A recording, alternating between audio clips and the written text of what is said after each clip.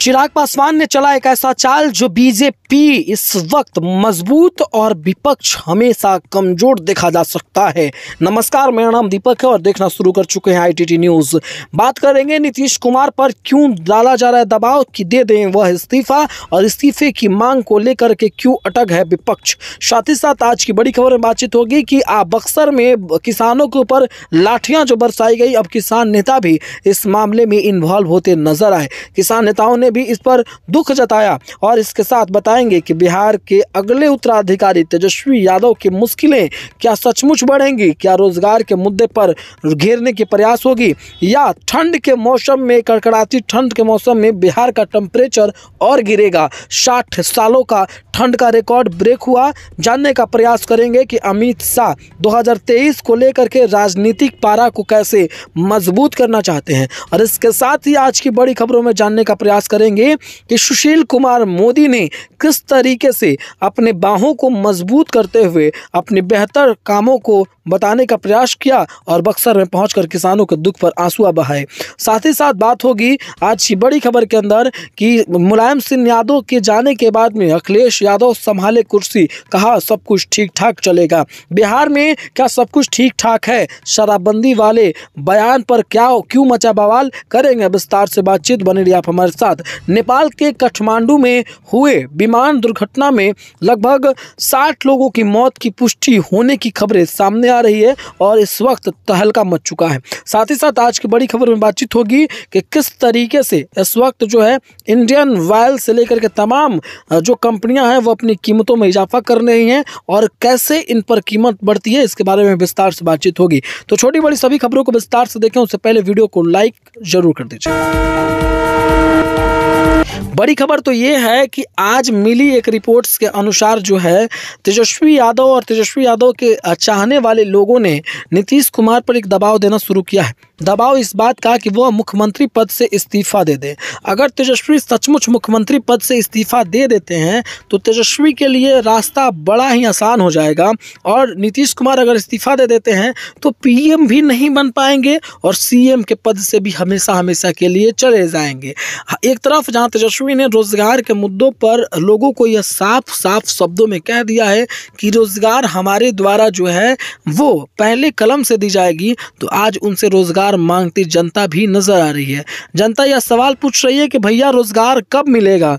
रोज़गार जो आपने कहा था देने को, जो आपने वादा किया था, जो आपने संतावनाएँ दी थी, ये कब पूरा होगी? अरे जरा इसे भी बताइए कि रोज़गार के मुद्दों पर आज आप इतने शांतिपूर्वक क्यों हैं? और बड़ी खबर तो ये है कि आज चिराग पासवान ने बीजेपी के हाथों में रहते हुए भी बीजेपी को मज़बूत दृष्टिकोण से मज़बूत स्थितियों में ले जाने का प्रयास करने लगे हैं। बीजेपी के हाथों में रहते हुए भी चिराग पासवान ने स्वर्गीय रामविलास पासवान के उस विचारों को नहीं भूला है, जो हमेशा से वो अपनाते आए हालाँकि दोस्तों, चिराग पासवान चाहते तो जब बिहार में सरकार बदली तो बीजेपी के विपक्ष में जा कर के जुड़ जाते, लेकिन उन्होंने ऐसा नहीं किया। उन्होंने हमेशा से यह प्रयास ज़रूर किया था कि कभी भी हमें बीजेपी के साथ रहना है, क्योंकि बीजेपी की इस समय एजेंडा मज़बूत हो रहा है और बीजेपी की ताकतें भी मज़बूत हैं। ऐसे में बीजेपी के लिए ये रास्ता अगर हम खोल देते हैं बिहार का द्वार तो फिर हम सीएम पद जो है बहुत ही आराम से संभालेंगे। तो दलित समुदाय के अच्छे खासे वोट बैंक पर निगाहों को बनाने वाले चिराग पासवान ने बिहार के राजनीतिक में चुप के चोरी, पिछले दरवाजों से आने की तैयारी शुरू की।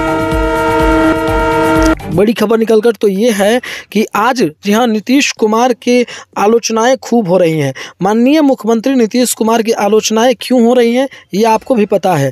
दरअसल नीतीश कुमार एक ऐसे नेता हैं जिन्होंने कभी भी ये बातों को नहीं बताया कि उन्होंने बिहार का विकास कितने, कितना किया है। उन्होंने हमेशा से यह बताने का प्रयास किया कि बिहार के लोगों के लिए हमने क्या किया है। और शायद इसीलिए बिहार के लोग भी उन्हें खूब पसंद करते हैं, खूब चाहते हैं। बिहार के लोग उन्हें हैं अच्छे तरीके से चाहते हैं कि बिहार में एक अच्छा डेवलपमेंट एक अच्छी विकास, एक अच्छी नीति, जो जो नीतीश कुमार कर सकते हैं, वो शायद और कोई नहीं कर सकता। और इन्हीं सभी बयानों को लेकर के, इन्हीं सभी बातों को लेकर के नीतीश कुमार की आलोचनाएँ भी खूब होती है।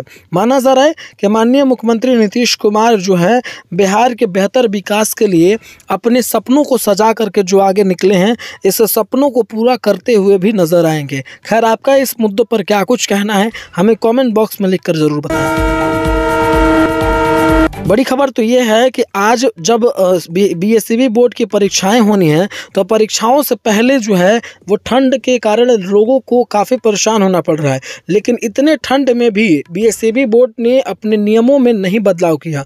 अपने नियमों को यूँ ही टाइट रखा है, कड़ा रखा है। उन्होंने कहा है कि बी जो नियम है, वो नहीं बदलेंगे। चप्पल जूता खोल करके आना है तो आना है। इसलिए चप्पल जूता पहनना ये पॉसिबल तो नहीं होगा साहब। इसलिए चप्पल जूताओं को खोल करके आइए ये अच्छी चीज़ें होंगी आपके बड़ी खबर तो ये है कि पटना मेट्रो की शुरुआत के साथ नीतीश कुमार से लेकर के तेजस्वी यादव तक इसे जो है वो लूटने में लगेंगे कि कौन कितना बाही बाही जीत लेता है।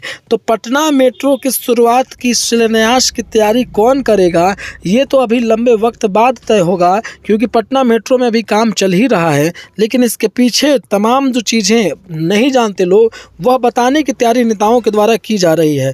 आपका क्या कहना है? कॉमेंट में लिख करके ज़रूर बताएँ बड़ी खबर तो ये है कि मिली एक जानकारी के अनुसार जो है बिहार बीजेपी जो है वो मज़बूत इस दृष्टिकोण में जाने वाली है। लेकिन लोकसभा के चुनाव में भी उसे अपने आप की मजबूती करनी होगी और इसीलिए जो है वो चीज़ों को बदला जा रहा है। खैर दोस्तों आपको फिर से बता देते हैं कि मिली एक जानकारी के अनुसार जो है वो आ, आ, अभी के अनुसार जो है प्रधानमंत्री श्री नरेंद्र मोदी जो है वो देश के वो उतने इच्छुक नेताओं में से हैं जो आज भी अपने दम पर सरकार बना सकता। है देश में इंडियन रेलवे की कई ट्रेनें रद्द हो चुकी हैं और ऐसे में यात्रा करने से पहले आप इस बारे में ज़रूर जान लें कि यात्रियों को भारी परेशानियों से ना गुजरना पड़े। जब भी यात्रा कर रहे हैं तो आपको यह जानकारी अवश्य ज़रूरी होनी चाहिए कि यात्रा के दौरान जो है वो आपको परेशान ना होना पड़े। इसलिए घरों से बाहर निकलते वक्त जब आप यात्रा करने जा रहे हैं तो उस वक्त जो है आप यह जानकारी ले लें कि आपकी ट्रेनें कब और कहाँ से किस तरीके से गुजरने वाली है। यह आपके लिए भी बेहतर होगा और साथ ही साथ ठंड के मौसमों में आपके लिए सूटेबल हो सकता है। खाने पीने की तमाम चीज़ें महँगी हो रही हैं। महँगी प्याज, टमाटर, लहसुन, ये तमाम चीज़ें महँगी हो रही हैं। लेकिन आज इन महँगाई के मुद्दों पर जहाँ गृहिणियों ने सरकार के प्रति विरोध जताई तो सरकार इन मुद्दों पर चुपचाप अपनी किसी भी बयानों को देने से बचती नज़र आ रही है। देश में महँगाई का स्तर आज ये है कि खाने पीने की हर एक वो चीज़ें महँगी हो चुकी हैं। उसके बावजूद भी सरकारों की इस पर नज़रें नहीं हैं, क्योंकि सरकारें अगर कुछ बोलेंगी तो फिर इस पर जो है निगेटिव वार होगा। बड़ी खबर तो ये है कि मिली एक रिपोर्ट्स के अनुसार जो है, वो बिहार के युवा जो है, रोज़गार के मुद्दों पर मांग कर रहे हैं। रोज़गार उन्हें चाहिए, पर रोज़गार कौन देगा? आखिरकार रोज़गार क्यों नहीं मिल पा रहा है? रोज़गार के परीक्षाओं को लेने की तैयारी क्यों नहीं हो रही है? और जब भी इसी बिहार में पेपर होता है, बीपीएससी से लेकर के तमाम कोई कोई पेपर तो पेपर लीक हो जाने के बाद में युवाओं को भारी पड़ताड़नाओं से गुजरना पड़ता है। लेकिन इन बातों पर कदा भी किसी का ध्यान नहीं होता। आखिर क्यों? हमें भी समझने की आवश्यकता होनी चाहिए। खबर तो ये है कि थर्मल पावर प्लांट के लिए जो ज़मीनें बक्सर में ली गई, थर्मल पावर प्लांट के सीईओ पर लगा बड़ा आरोप। कहा कि थर्मल पावर प्लांट के सीईओ ने ही ज़मीनों को हड़प लिया और ज़मीनों को हड़प करके यह दावा कर दिया कि किसानों ने थर्मल पावर प्लांट के अंदर घुस करके आग लगा दी। खैर, अब इस पर थर्मल पावर प्लांट को कोर्ट में बयान देना है।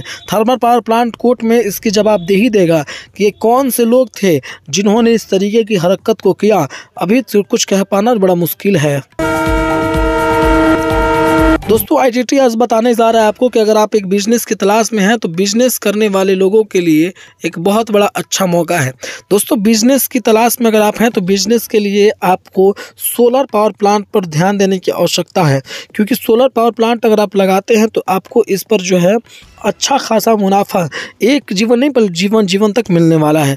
ऐसे में थर्मल पावर प्लांट लगाना है, अगर सोलर पावर प्लांट को लगाना है तो इसके लिए सरकार भी अनुदान राशियों को दे रही है। तो ध्यान देने की आवश्यकता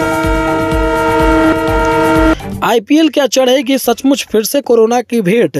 यह कह पाना बड़ा मुश्किल है, क्योंकि कोरोना अपने दौर में लगातार जारी है और देश में कोरोना की बढ़ती स्थितियाँ जो हैं, वो लोगों को परेशान कर रही हैं। माना जा रहा है कि कोरोना के धीरे धीरे जो नई वेरिएंट है, वो परेशानी के कारण बन रही है, लेकिन उसके बावजूद भी अब आईपीएल को कराने का सुर और ताल सरकार देखा जा रहा है। बीसीसीआई में। खैर, चीज़ें जो हैं वो बदल रही हैं और ऐसे भी बदलने की कोशिश होगी। इस बार के आईपीएल में रोमांस से लेकर के तमाम चीज़ें नज़र आएँगी। बने रही आप हमारे साथ आईटीटी देखने के लिए। आपका बहुत बहुत धन्यवाद। जय हिंद, वंदे मातरम।